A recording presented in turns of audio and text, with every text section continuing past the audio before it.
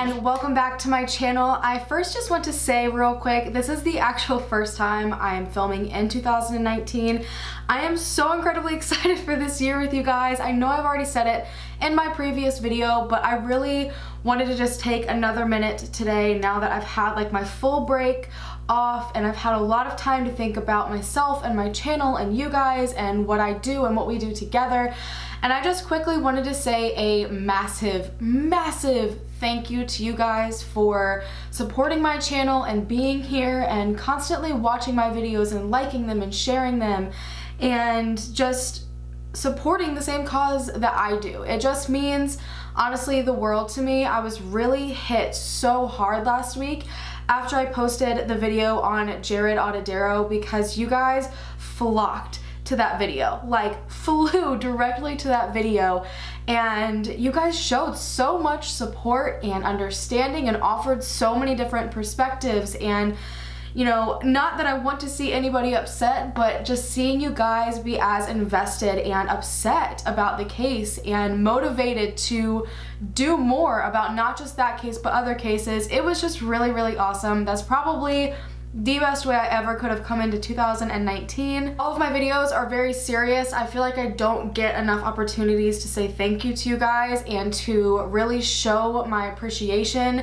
and I often feel like I sit on like this line of wanting to only strictly talk about these cases and never talk about what we do together and the you know feelings and emotions behind it and all of that so I just really wanted to take these past couple minutes to just say thank you to you guys and that I would not be here without you. There are so many families that appreciate you so much more than you even know. There is just so much love in this community and that is exactly what this type of genre needs. So now I just want to jump right into today's video and this video is a very, very highly requested video. I've looked into this case a couple of times, but it's had to kind of be moved around and postponed because of other videos. And honestly, I was kind of scared to talk about this topic because it's something that I'm not very educated on if I'm going to be completely honest with you guys. I've had to look into a lot of things on my own. And this is the story of the disappearance of Tamra Keepness, who was an Aboriginal five-year-old little girl from Saskatchewan, Canada. I probably butchered that. Um, but you guys have asked me since I started my channel to cover the Highway of Tears and talk about the uh, mass amounts of unsolved murders and disappearances of Aboriginal females in particular in Canada, I've not found a good way after months of brainstorming to really get out a good video about the whole entire Highway of Tears without making it feel to me that the people involved are just numbers and I don't want to continue with that stigma and idea. That's the absolute last thing I want to do. So I figure that talking about Tamra's story would be really a good way to ease into learning about the different experiences Aboriginal people and females in particular go through in Canada and pretty much everywhere. I had to learn a lot and I know a lot of you guys probably won't know a lot either and I am relying on a lot of you that you know, witness and go through these things firsthand to maybe help us understand in the comments. Um, but here we go. So to kind of give you a gist of what Aboriginal females go through in Canada, the Aboriginal woman, at least back in 2013, the last bit of data that I could find, they only make up about 4% of Canada's population, but get this, they make up 23% of the female homicides, and I think it was between 11 and 15% of the missing women. That's a lot. That's a lot, you guys. That's 4% of a population taking up a quarter of the amount of homicides in an entire country. Now, I'm not going to dive too deep into everything once again because there's just a endless list of why these issues exist, but I am going to hit on one reason why these issues do exist and it does relate to the story. So Tamra's story kind of starts off with her mother and her grandmother because they were both survivors of the Indian residential schooling system. So basically the school system was a network of boarding schools for indigenous people and they were made to essentially civilize and assimilate the indigenous people to Canadian culture. And the reason I say they were survivors of these residential schools was because estimates of school related deaths were between 3,000 to over 6,000. And I think roughly around 150,000 students did go through these schools. It was about 30% of the indigenous population, and this went on for over 100 years. And they never properly recorded anything. And I don't know about you, but 3,000 to 6,000 deaths at a boarding school is a little bit interesting. And it clearly shows there was something else going on there. And that's because there was. So basically, these schools were strategically placed far away from families of the indigenous, and there was a uh, amendment made to the Indian Act of 1876 that required First Nation children to attend schools. Now, a lot of these reservations were really, really remote. They were not around any sort of public schooling. They didn't have any particular schooling of their own all the time, and it basically forced a lot of these families to put their children into these residential boarding schools. They basically had no choice. And the reason that these schools were strategically placed so far away from the reservations was because the people in charge of them did not want the children to have pretty much any contact with their family because again, they needed to civilize them. It was absolutely devastating. Like I can't even fathom really and I don't think a lot of people even know just how devastating this was. It disconnected children from their families, from their culture. Um, they had their native language stripped from them. They were forced to learn how to speak French and English and not well, but I will get into that in a little bit. They were often physically and sexually abused. And the graduates from the schools it was not it was not a good situation whatsoever because oftentimes these schools did not have proper teaching methods. So these children would never actually fully learn french. They would never fully learn english. Some would only know how to write it but not know how to speak it. Some would only know how to speak it and not know how to write it. Some wouldn't know anything about it. And because they were not allowed to partake in any of their normal cultural activity, like using their native tongue, they often left not knowing any language fully. They didn't know anything really about Canadian culture and they didn't remember anything about their previous culture. So they were stripped of everything and they didn't fit into either society. They would try to come out of these schools and most of them ran right back to their reservation. They wanted to be back with their family, back with their people, but they no longer fit in. They didn't understand anyone in their family. None of the language was getting through anymore. They didn't understand the culture. It just stripped these children of everything and never rebuilt them back. And unfortunately, because of this, a lot of them came out suffering with PTSD. They went on to suffer severely with alcoholism, substance abuse. They kind of just had to fend for themselves because they didn't fit into the Canadian culture and they weren't accepted by them. So they often had to lead really high risk jobs and lives in order to survive. And it basically just put a cap on whatever they could do in their life. They, they really were stunted basically. It disrupted indigenous practices practices and beliefs over generations. And just just think about that. Think about how horrific that is. Think about the fact that someone's culture was just destroyed over a few generations. And the very last school didn't even close until 1996 and you know at this point it's been 20 years later and they are still struggling just as bad as they were before. And this is just one of the examples of why these things happen to the indigenous people in Canada. This is why, you know, they're treated unfairly by the police department a lot of the time. This is why that homicide rate and the missing persons rate is just so incredibly high. They are just not set up for success. And that really ties into today because Tamara's mother was one of those children that was abused. She was one of those children that was improperly taught. She ran away from her reservation. I think it was White Bear First Nation. Um, when she was 13 years old, she lived out of stealing from people's gardens. Um, and you know, instantly fell into alcoholism and drug addictions. And because her mother had gone through it, she grew up in an abusive home and it was just unstable. And it's just a domino effect. And that carried on to Tamra and unfortunately had a lot to do with her disappearance, I believe. So Tamara was only five years old when she went missing from Regina, Saskatchewan, Canada. I know again, I'm pronouncing that so wrong, bear with me. Um, and she disappeared on July 5th of 2014.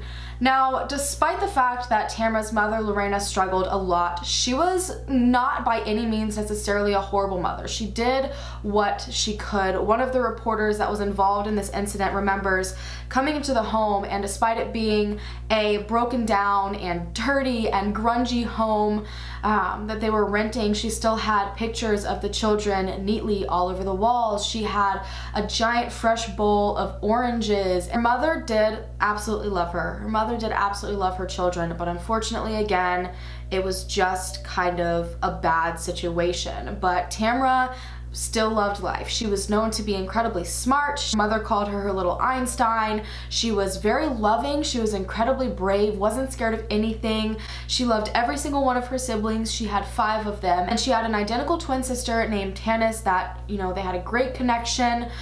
But unfortunately, she didn't have the best home life other than that.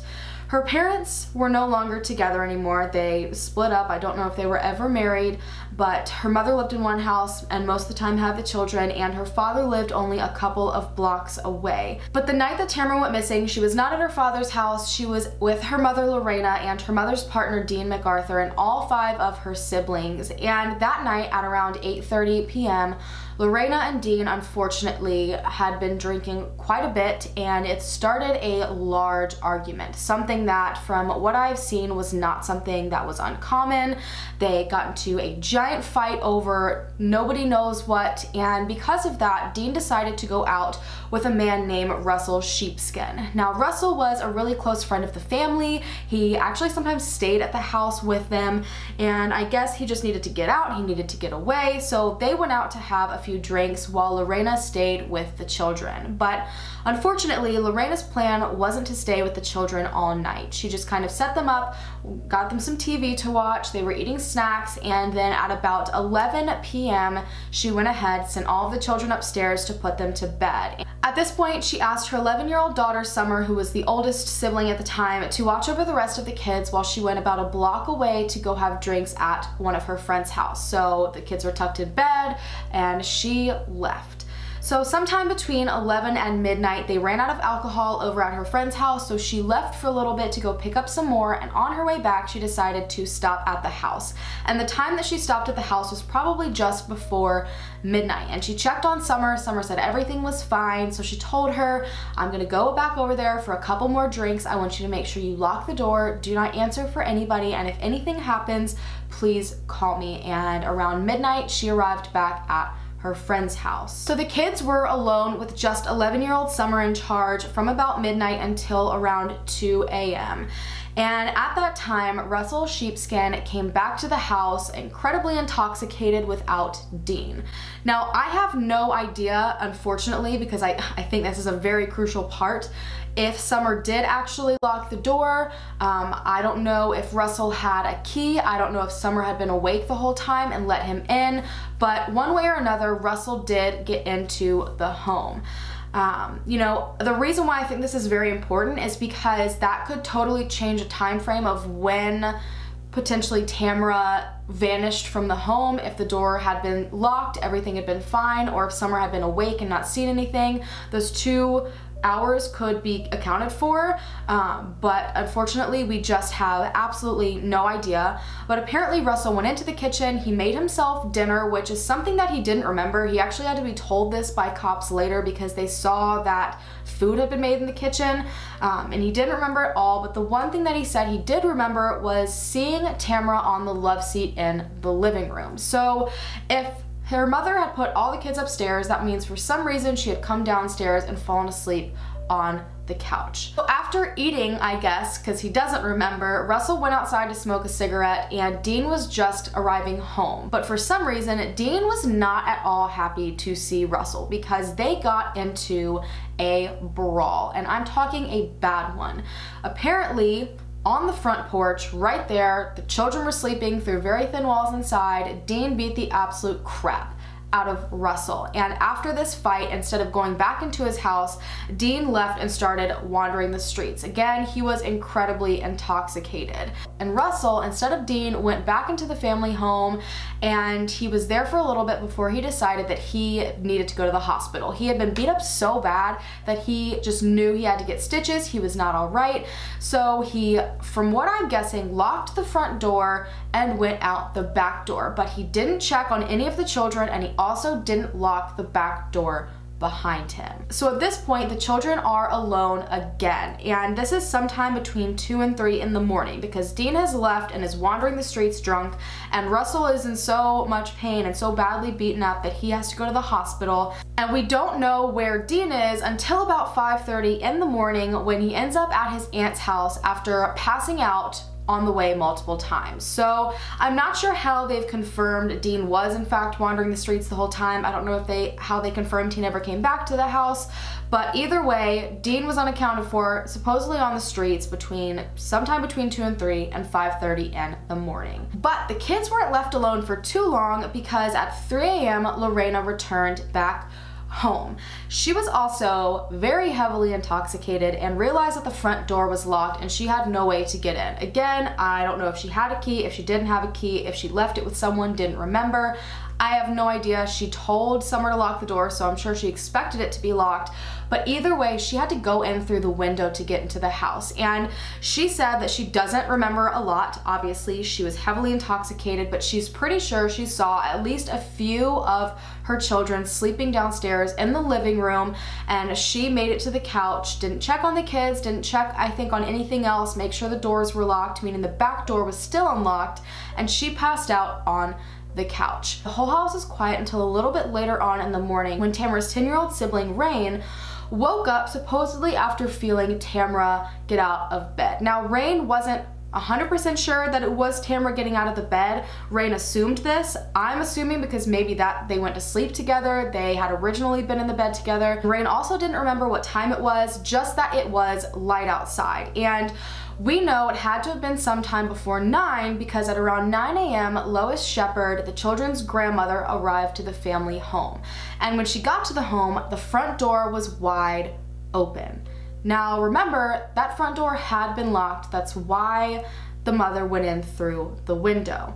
So I don't think she thought much of it. I think she assumed that it was Lorena just stumbling in drunk and not closing the door behind her because Lorena was right there on the couch, still hungover, not feeling well, in and out of sleep. Kids started coming down one by one to eat breakfast, and at around 10:30, Lois realized that Tamara was the only one that hadn't come down. So she got a little bit worried and decided to send one of the other kids up to the bedroom to check to see what on earth Tamara was doing, making sure she's all right, and they couldn't find find Tamara anywhere.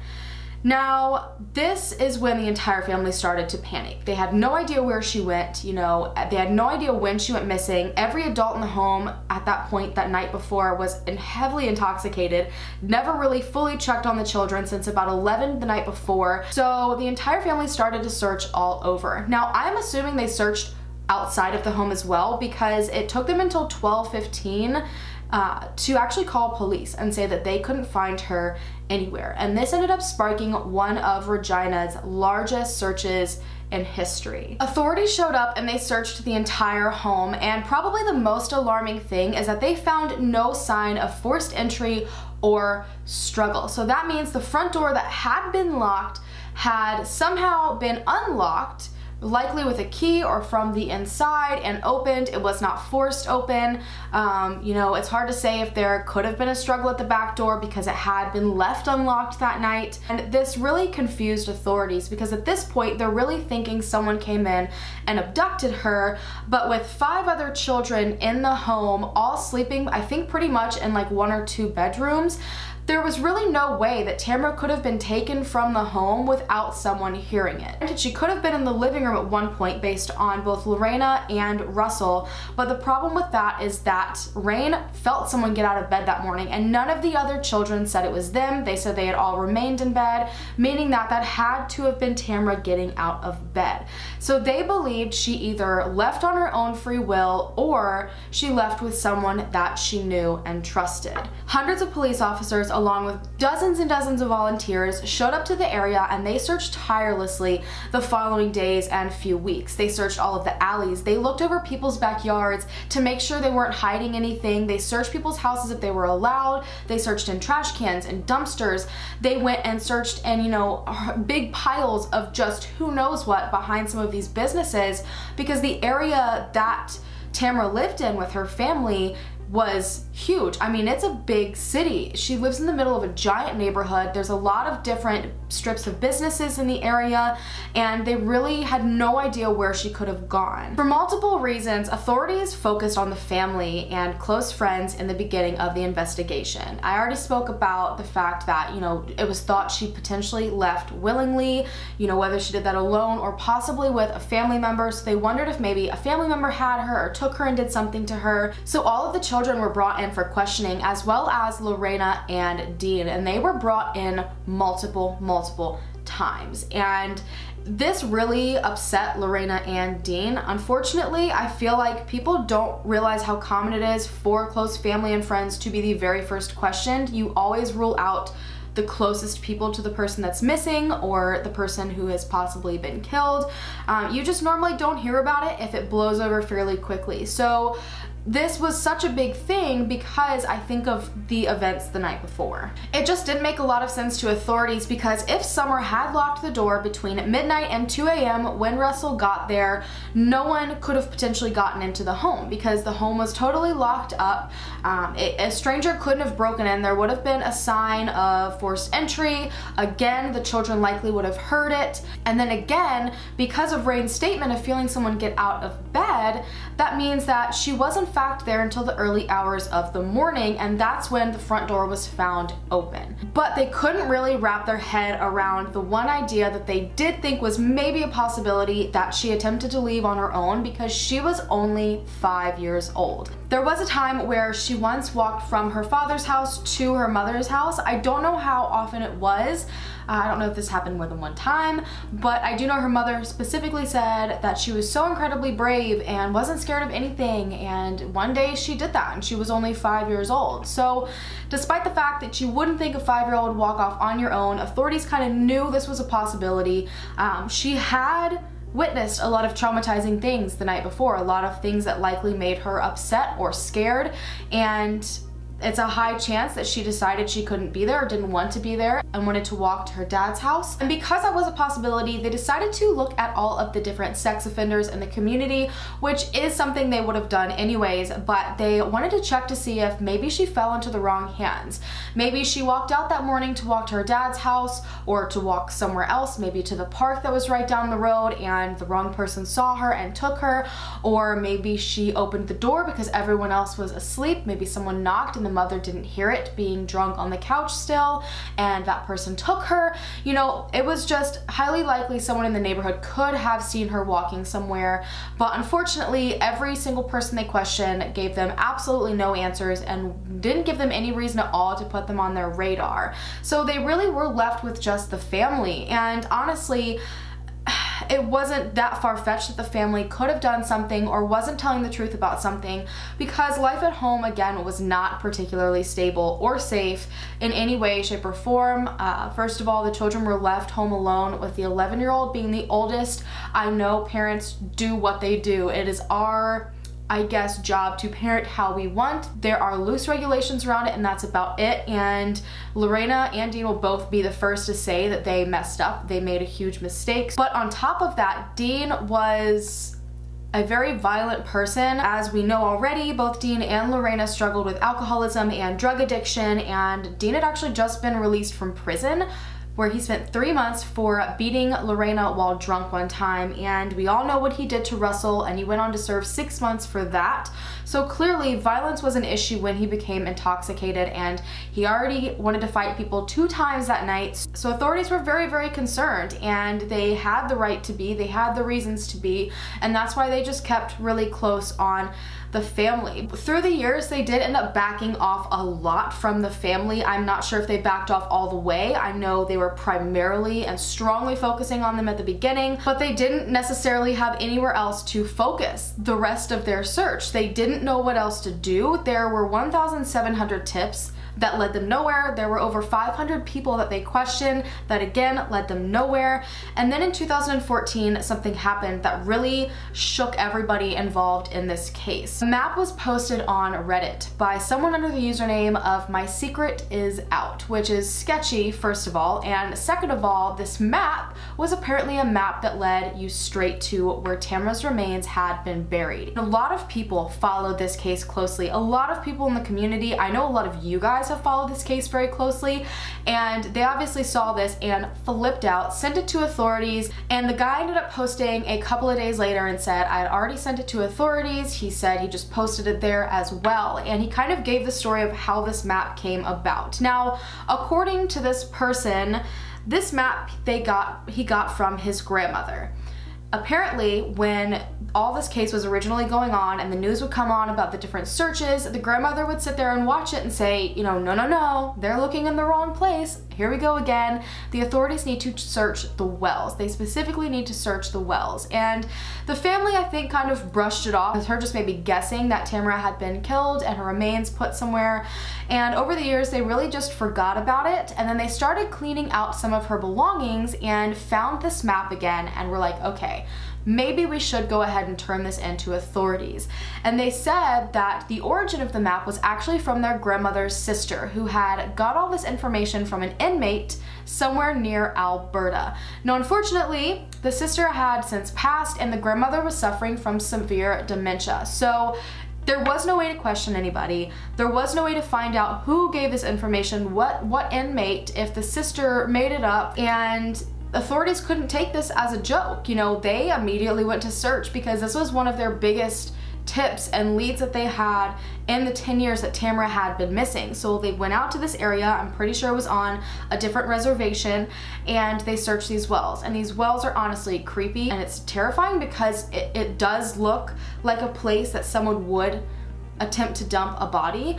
Uh, and they brought in specialized cameras, I mean big search teams. They checked not just the wells, but they checked the land surrounding all of it. It looked pretty remote and unfortunately they weren't able to find anything and they eventually said that this tip was not valid.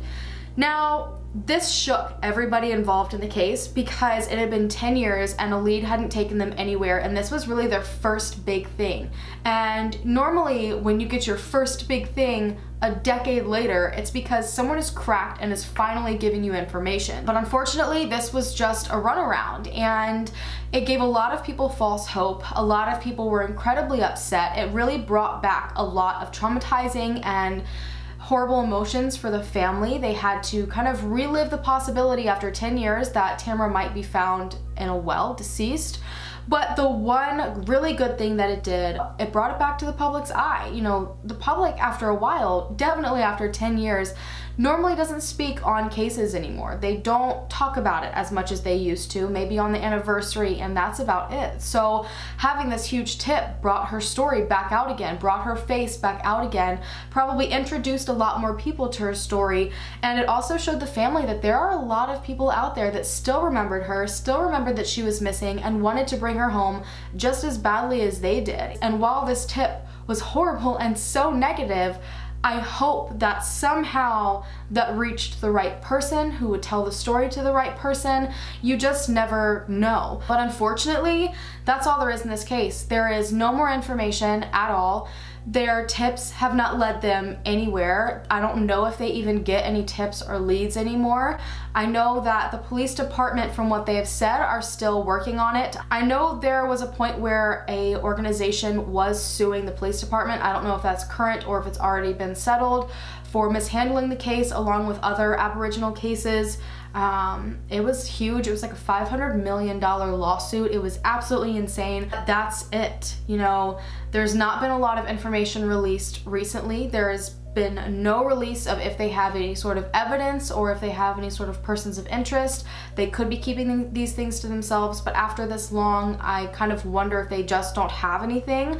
Lorena and Dean have since moved out of that rental home, and unfortunately because of the lives that they lead, most of Tamara's siblings are now in provincial care and no longer with Lorena or Dean. So it just isn't a heartbreaking, unfortunate story of the fact that, you know, this little girl was born into a family that knew nothing but disaster. And they only knew disaster because their families before them only knew disaster. And a big reason why is because of the way the government has treated the Aboriginal community. And it's unfortunate and you know, that's not laying any fault off of the parents for making the decisions that they did, but there's kind of this fine line of not having any other option. And I feel like that's the line where a lot of people don't understand and it gets them very, very angry. And they, you know, it's hard to understand why someone would do something bad instead of choosing to do something good. But unfortunately,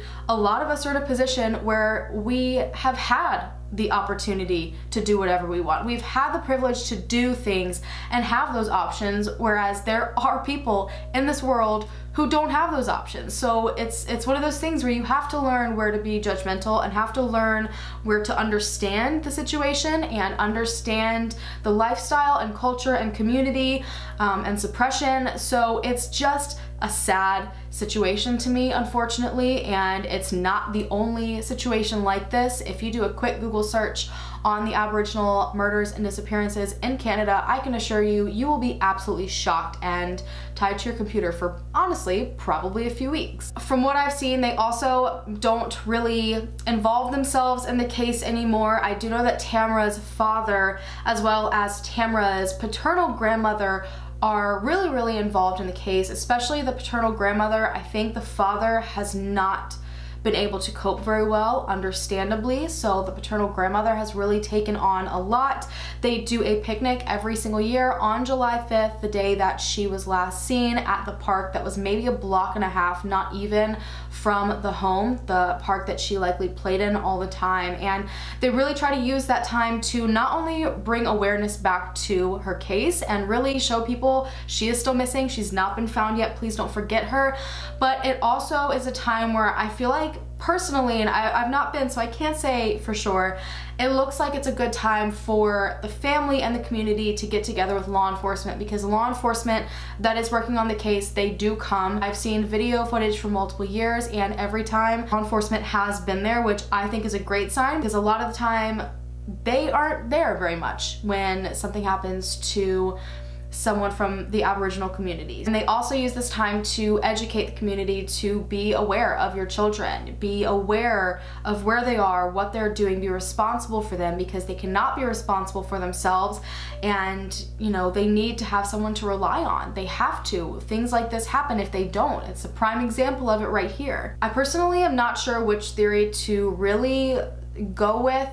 I think it is highly likely and my gut feeling since I looked into this that she did just walk out of the house. I think she might have been very upset and traumatized from the night before and tried to leave uh, and something likely happened along the way. It would have been early in the morning. Not a lot of people would have probably been out, uh, but you really can't rule out the idea that someone did come in through the back and take her. You can't rule out the idea that maybe someone she knew and trusted came and did something to her. It's just unfortunate. Um, and apparently, one of the last people to see Tamara is now deceased. I did not get a name.